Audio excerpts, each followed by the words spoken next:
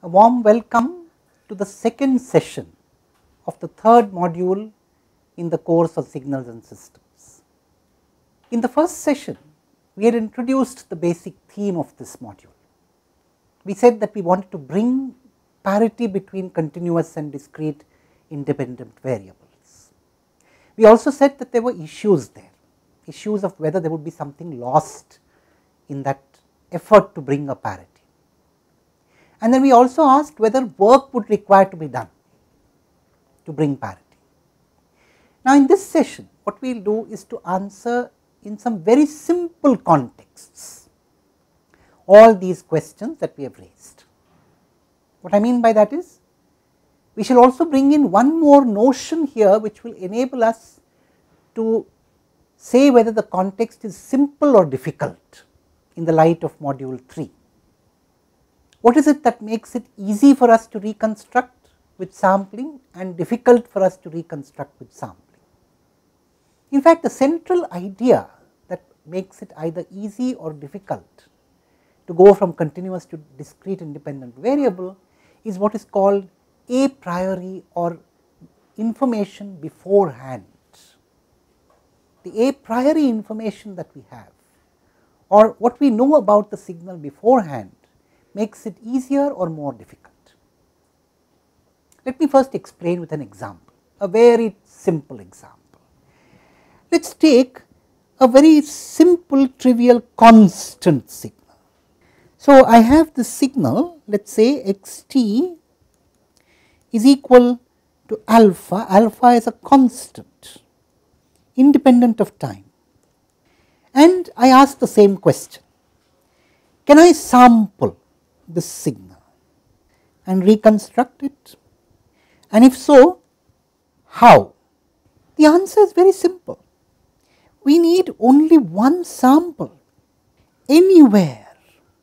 In other words, take t equal to any t 0 and of course, x at t 0 is equal to alpha. So, if you sample, you know everything about the signal. So, it is very interesting. You are given a constant signal, you do not need to represent that signal as a function of a continuous independent variable at all. All that you need to do is to take one sum and that tells you everything about the signal. Now, here this is almost obvious. I started with what I might call a quote unquote obvious example, almost begging to show its truth what this illustrates is that there is always this tussle between a priori information. What was the information that we had before we started the process of sampling here? The information that we had before was that the signal was a constant. It is a very great deal of information. In fact, let me go one step further. Suppose I knew the signal is 0 everywhere, then how many samples do I need? To represent the signal? None at all. Now, that is a trivial signal and a trivial situation. But now, let me take a non-trivial signal, but a trivial situation. So, let us take a situation where we know the signal is, we know this, we need no samples at all. So, you know the a priori information or information beforehand leaves us with no need for sampling. There we are, a non-trivial signal. I mean, it is a simple but non-trivial signal, it is a sinusoid. But I know all that there is to know about the signal. I know the frequency of the sine wave, I know the amplitude of the sine wave, I know the phase, the starting phase of the sine wave. So, I know everything there is to know about that sine wave. I do not need to make any measurements at all. So, if I say how many samples would I need to take to reconstruct a signal perfectly, my answer is I do not need to do any sampling. The a priori information I have is quite enough. Now, let me take a slightly different example, where I reduce the a priori information. For variety, let us take a different kind of signal. Let us take an exponential signal. We can later go to a sinusoid as well. Let us take an exponential signal. So, if we have an exponential signal, there you are, there is a priori information there. You know the signal is exponential. x of t is of the form some a 0 e raised to the power alpha t, where a 0 and alpha are constants. Now, we make only two measurements on this signal. I measure x at t equal to t 1 and I get a 0 e raised to the power alpha t 1 and I do the same at t equal to t 2. Now, we can ask the question how do we reconstruct that is very easy here. Very simple let us write the two equations down divide one by the other and of course, we know T 2 and T 1. Therefore, if we take the logarithm of this, the natural logarithm, Ln as it is often called. So, log natural x t 2 divided by x t 1 is alpha into t 2 minus t 1 and all that you need to do to get alpha is divide by t 2 minus t 1. In fact, you could write log natural x t 2 minus log natural x t 1 divided by t 2 minus t 1 gives you alpha. So, we have an equation for alpha ready here.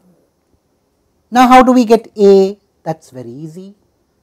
All that I need to do is to look at any one of the samples. So, x at t 1 is a 0 e raised to the power alpha t 1. Now, you know alpha. So, therefore, a 0 is simply x t 1 into e raised to the power minus alpha t 1. So, I know a 0 too, very simple.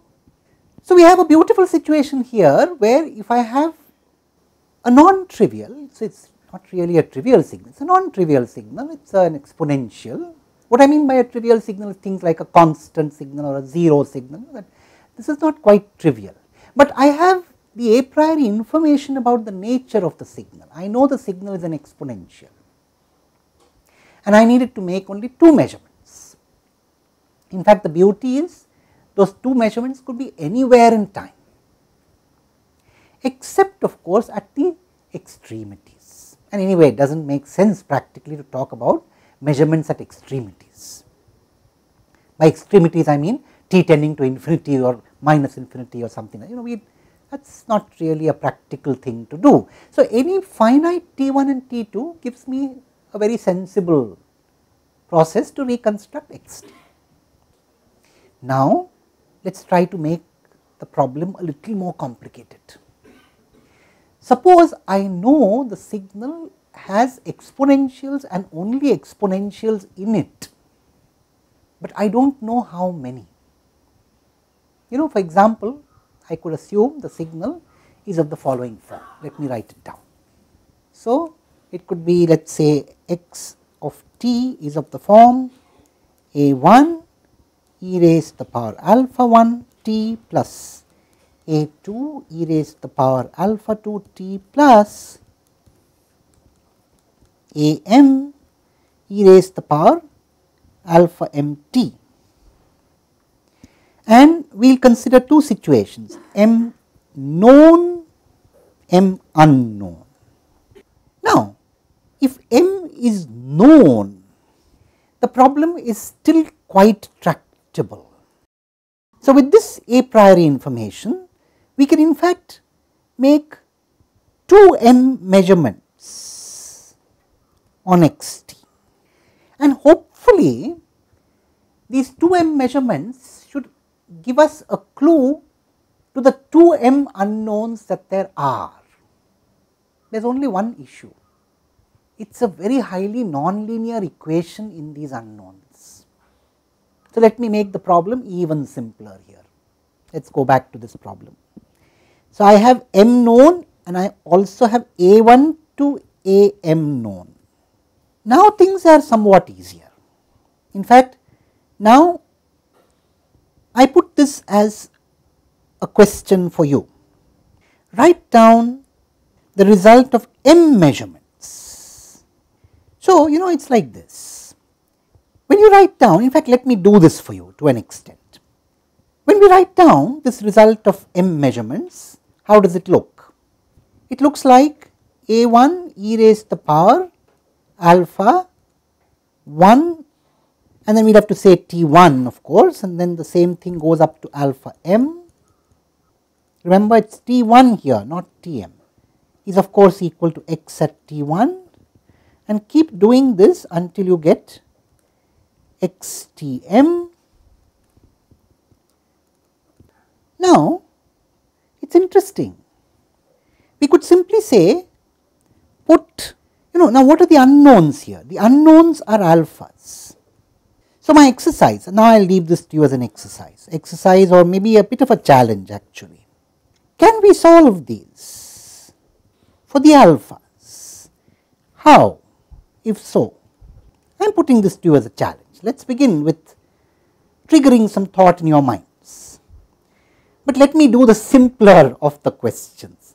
Let me take the other context where I know the alphas, but I do not know the A's. So, we consider alpha known and A unknown. In fact, here this makes the problem very easy. So, I could go back to the previous set of equations, the equations are the same, they do not change. These are all known now. If the alphas are known, all these are knowns and the unknowns are these. And the beauty is this is a set of m linearly independent equations in m unknowns. So, it is a very simple situation to deal with. I have a set of simultaneous linear equations involving the A's and I can solve it routinely by any and of course, you need to ask whether this is a set you know I said it is linearly independent, but I again ask you why I said that this is a special kind of equation that we get here. The coefficients are not arbitrary, they are really sample versions of an exponential. So, that assures us that the equations are independent provided of course that we have separate alpha, the alphas are distinct. So, we have seen in this discussion two examples of a relatively simple problem of sampling and reconstruction. We shall see more in the next session. Thank you.